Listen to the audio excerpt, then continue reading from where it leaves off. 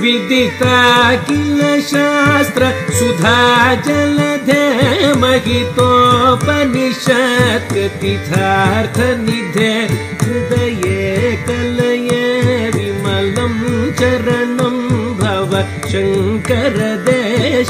मे शरणं करुणावरुणालय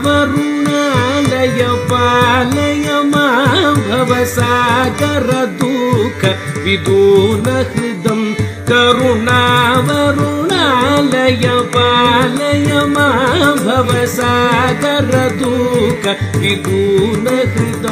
रचयाखिल दर्शन तत्त्वविदं भव शङ्करदेशिक